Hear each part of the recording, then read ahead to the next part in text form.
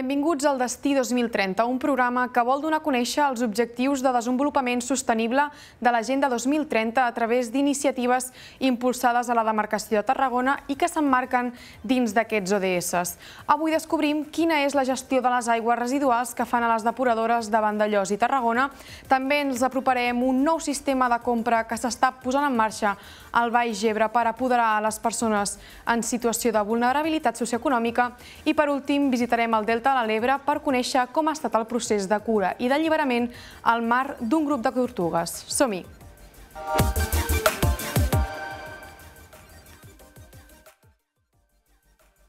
Depuradora del Vandellós, al Baix Camp, ha impulsat un nou tractament d'aigua per tal de reutilitzar-la com a recurs hídric alternatiu. Es tracta d'un sistema de tractament terciari que permet reduir la càrrega de contaminants sòlids en suspensió i terbolesa. Es preveu que la planta podrà depurar fins a 40.000 metres cúbics d'aigua anualment per poder-los destinar al rec agrícola fent un major reaprofitament d'aquest recurs tan preuat en un estiu de sequera com el que hem patit aquest mateix any. Ho coneixem tot plegat amb un reportatge de la Mireia Jansà de Canal Reus. Aquesta planta d'aigua que, hem, que hem impulsat de reutilització, per reutilitzar l'aigua eh, té un tractament secundari convencional, que és un tractament biològic amb decantació, i eh, s'ha afegit recentment, des del mes de març que l'hem construït, un sistema, un sistema de tractament terciari, que és un sistema de filtració addicional i una desinfecció addicional de l'aigua. El que fa el tractament terciari és que l'aigua que tractem a la depuradora, un cop surt, li donem un tractament addicional vale? per tenir una aigua de major qualitat. En aquest cas, el terciari de l'Edar de Vandellós consisteix en dos filtres, un filtre d'anelles i un filtre de sorra, i una cloració i retornem l'aigua amb una qualitat superior. Els usos que, que, que s'intentarà utilitzar aquesta aigua és perquè el, en el moment que, que, que surti l'aigua eh, reciclada amb aquests productes que hi posaran ara, eh, servirà pel rec agrícola eh, que ja estirà doncs, beneït per, la, per Agricultura de la Generalitat. Eh, podríem dir que és un projecte bastant pioner, sí. Efectivament, eh, ara mateix de les depuradores que gestiona com aigua, que són 14 en total en tot el Baix Camp, eh, tenim només eh, un tractament eh, similar a un altre municipi aquest de Vandellós. És una instal·lació que depèn de l'Agència Catalana de l'Aigua i el paper de Com Aigua és gestora eh, d'aquesta planta. El sistema està dissenyat per tractar eh, amb el tractament terciari la totalitat quantitat de l'aigua que entra a la depuradora de Vandellós. És a dir, si tenim un tractament, eh, un volum anual de 40.000 metres cúbics, tota aquesta aigua passarà per el tractament terciari i està previst eh, reutilitzar la, la totalitat d'aquesta aigua. De fet, la concessió que tenim ara mateix per fer la reutilització d'aquesta aigua és de la totalitat de l'aigua. Per tant, està previst reutilitzar tot. L'aigua que arriba eh, són eh, uns 90, 96.000 litres diaris. És a dir, uns, uh, uns 100, 100 metres cúbics. Uh, aquesta aigua, uh, en principi, a l'hivern, quan, uh, quan no hi ha rec, doncs uh, se pot utilitzar, uh, se pot depurar amb una quantitat uh, menys intensiva. Per què? Perquè el cost d'això, eh, el cost de depurar tota l'aigua que surt de la depuradora, costa 22.000 euros a l'any. I podem a, a anar també a, a la demanda de, de, de, de, del que són els agricultors o, o la gent que vulgui regar, doncs eh, podríem anar una mica al, al que diguin ells. Dir, bueno, doncs ara podríem començar el mes de març fins al mes de setembre, o bé doncs, eh, a la seva demanda. Se pot engegar i, i, i hem de ficar un dipòsit de 50.000 litres que servirà per tendar una mica el que són les aigües. És necessari eh, invertir en aquest tipus de tractament perquè l'aigua és un recurs molt preuat, ho estem veient avui en dia que tenim problemes d'aigua i poder reutilitzar una aigua que d'altra manera no s'aprofitaria ens dona aquest, aquesta quantitat addicional d'aigua que es pot utilitzar, per exemple, per regar o per altres usos. L'aigua cada vegada serà més escassa i malbaratar eh, 100 metres cúbics diaris d'aigua eh, llançats al, al, al barranc, doncs no, no crec que sigui una solució eh, molt correcta. Si amb això tenim en compte el, el consum anual, doncs surt una inversió bastant important. Però crec que no hi ha cap inversió important que, que ens pugui curar del que passarà a nivell de l'aigua. Tots sabem que patim un estrès hídric molt important eh, ara aquest estiu 2022 està sent molt dramàtic en tot el tema de gestió de la sequera i impulsar projectes de reutilització d'aigua afavoreix el reaprofitament de l'aigua residual, el retorn al seu medi per ús agrícola, per exemple, i d'aquesta manera podem afavorir l'alliberament de l'aigua potable.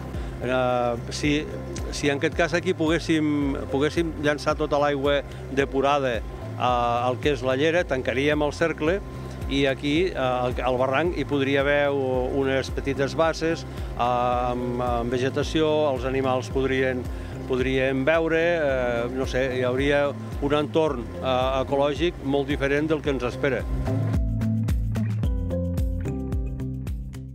I no canviem de tema i anem a conèixer una altra xarxa de depuració del territori. De mitjana, a Tarragona es consumeix menys aigua de boca que el total de Catalunya. Tot i això, aproximadament un habitant utilitza uns 113 litres d'aigua per jornada.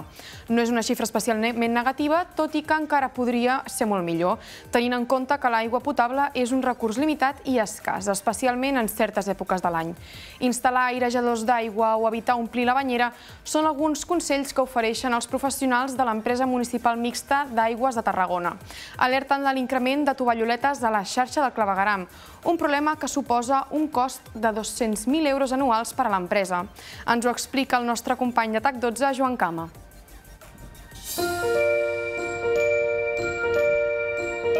Nosaltres tenim el que és una mitjana no, de, que, que calculem no, anualment del que és el consum d'habitant i dia. No? I en el cas de, de, del, no, del, dels municipis que gestionem des de, des de Matza, doncs, per exemple, l'any 2021 aquesta mitjana ha estat de 113 litres i habitant i dia.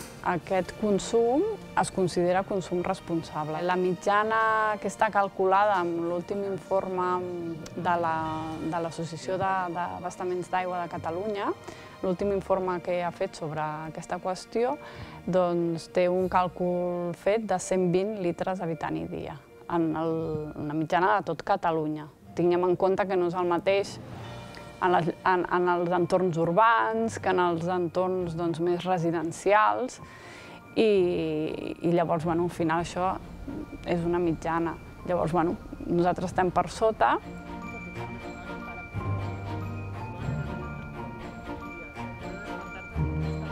La Via 2030 és un pla estratègic que EMATSA s'ha marcat des del 2021 i fins al 2030 que el que pretén és marcar la direcció que l'evolució de la companyia ha de seguir en, en aquests 10 anys. Eh, d'exemples en trobaríem molts. Eh, Te'n podria posar, doncs, per exemple, el control de plagues en la xarxa de clavegaram, de rates i paneroles, però també te'n podria posar en el control de biofilm a la xarxa, que estem participant en un projecte subvencionat per crear un sensor òptic que serà capaç de veure quines eh, canonades tenen una xarxa de... se'ls genera biofilm a l'interior i que, per tant, puguem actuar abans de que això pugui suposar un problema per la inocuitat de l'aigua.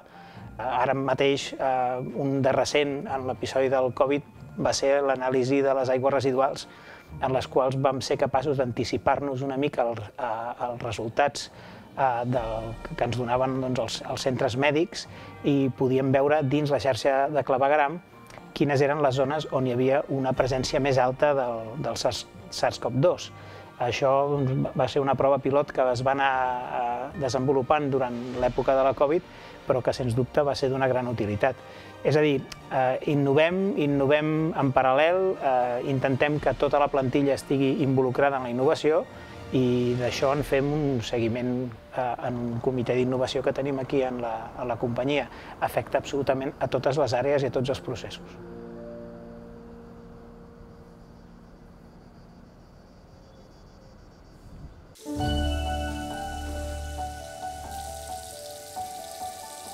des de ja fa molts anys no, que nosaltres doncs, anem donant no, consells a, pels diferents canals que tenim de, de comunicació i el que és més doncs, enfocat a dintre no, de, de les nostres llars, doncs si comencem, per exemple, per, per les aixetes, no? les aixetes doncs, per exemple, hi podem instal·lar dispositius eh, que es diu airejadors d'aigua, no? que el que fan no, és introduir una miqueta d'aire i poden arribar a suposar doncs, un, un estalvi del 50% de, del consum que, que pot fer no? doncs, aquella aixeta. No? Els vàters els de ja fa uns, uns, certs anys no? tenen el que diem un dispositiu de doble descàrrega, eh, que el que fa és que també puguem eh, doncs, estalviar el 50%, la meitat no, del, del, que, del que fem servir, del, del consum que, que fem servir, quan li donem a la descàrrega de, del, del vàter. I és molt important perquè bueno, depèn de, del tipus de, de, de dispositiu, doncs cada descàrrega pot ser, pot ser de, de 10 i fins a 15 litres. Si ens quedem en el lavabo, no? hi ha un consell molt bàsic, però que és el de canviar la banyera per la dutxa. Regar, per exemple, sobretot ara que fa molta calor, doncs regar a primera hora del matí o a última hora de, del vespre. I després ja és un consell, no? però que també eh, és, és, és molt important, i és el que és el manteniment de, de les instal·lacions interiors, no? Que no, no hi reparem ningú de, en general, no? I, i això provoca molts cops doncs, que hi hagin fuites interiors. Tot i que l'objectiu número 6 realment és el que ens, a nosaltres ens toca de ple, eh, el que hem après durant aquest temps que portem analitzant els ODS és que no els hem de desvincular els uns dels altres. No obstant, n'hi ha alguns en els quals la nostra capacitat d'actuació és més gran i que, per tant, podem fer-hi més coses. Aquest seria un dels casos.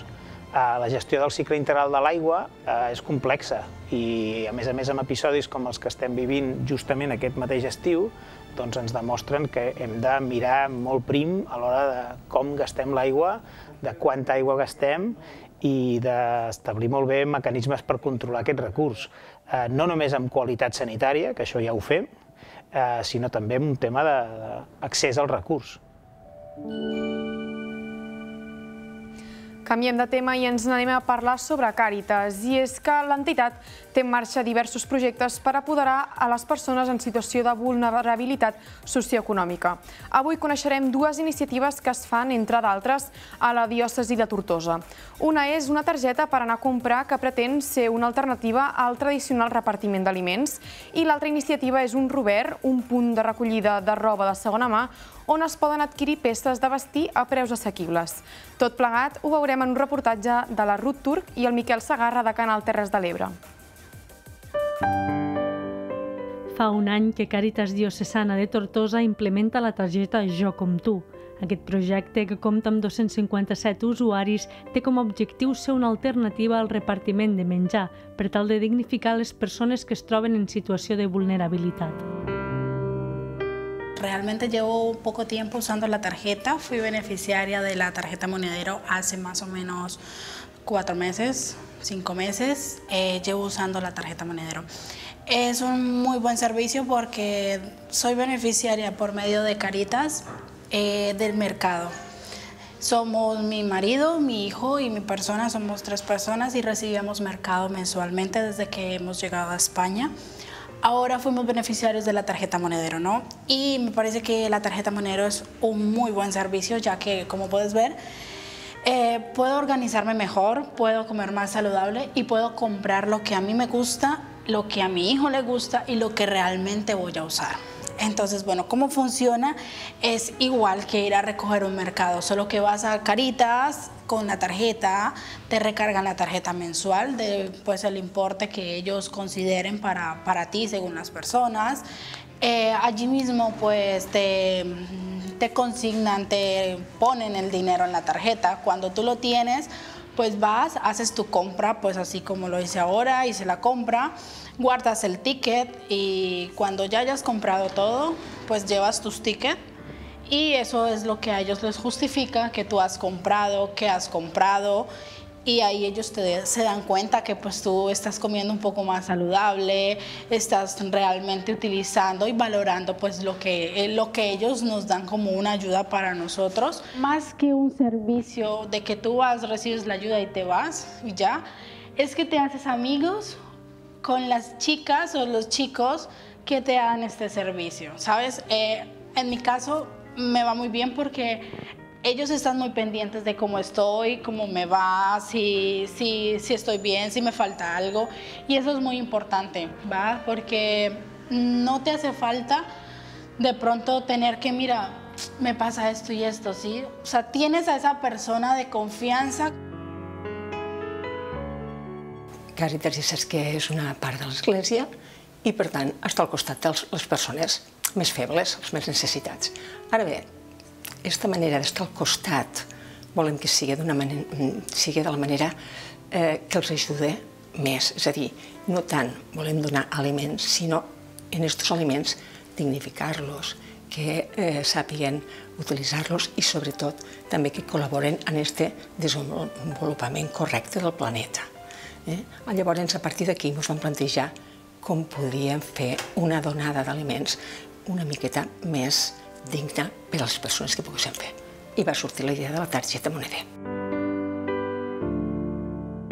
Un altre projecte de Càritas que també té com a objectiu dignificar la pobresa és una botiga de roba de segona mà situada al carrer Moncada de Tortosa. Esta botiga funciona de, gràcies a la roba que ens arriba de la gent, del voluntariat que tenim aquí que fa possible que se monte tot això.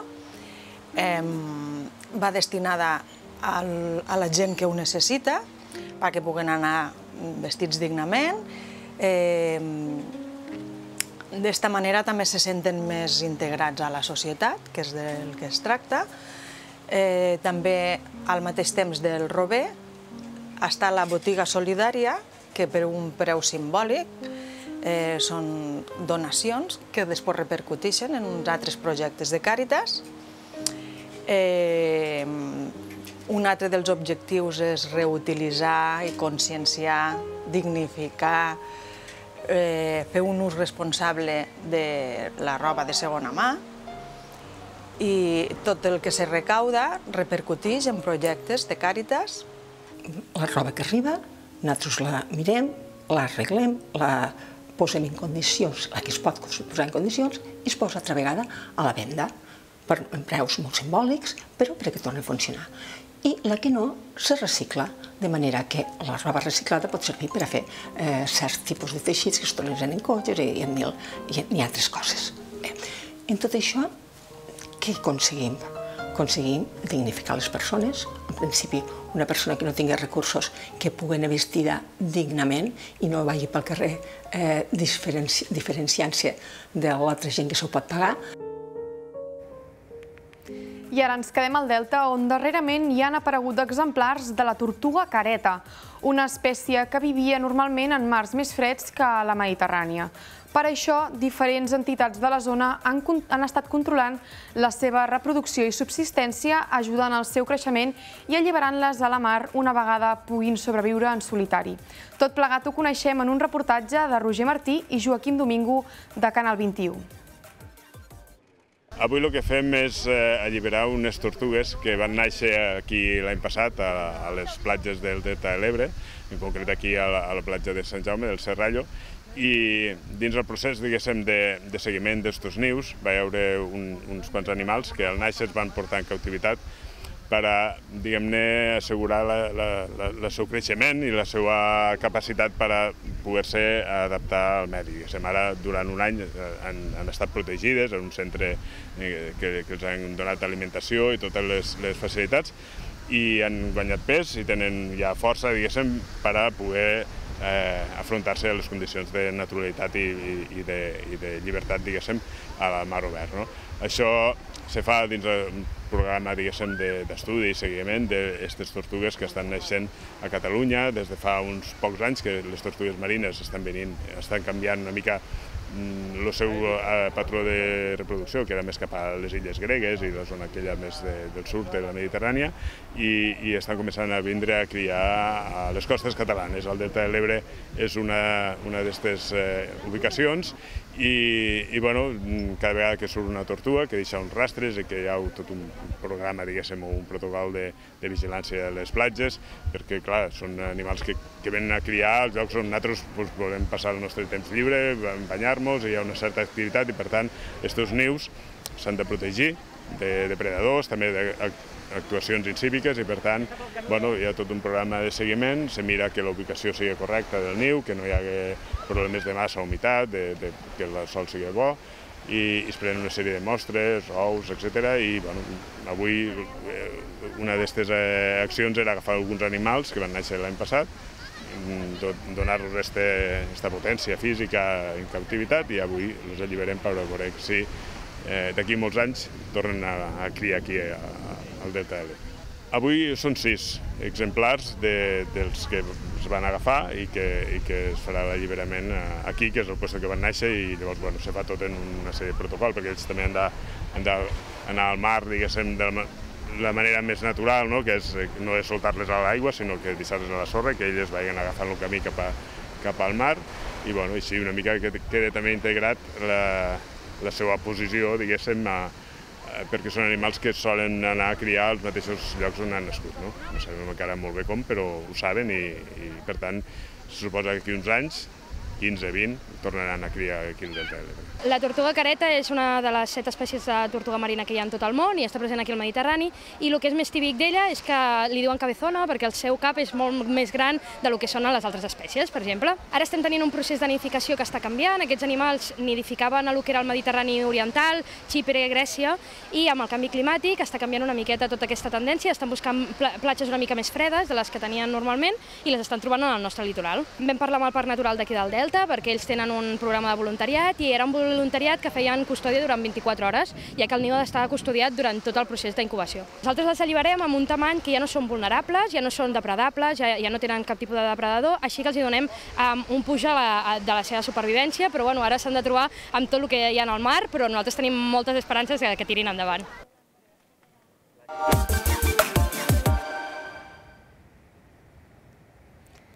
I fins aquí aquest nou capítol del Destí 2030. I tornarem divendres vinent a partir de dos quarts de deu del vespre. Que passin molt bona setmana i fins la propera.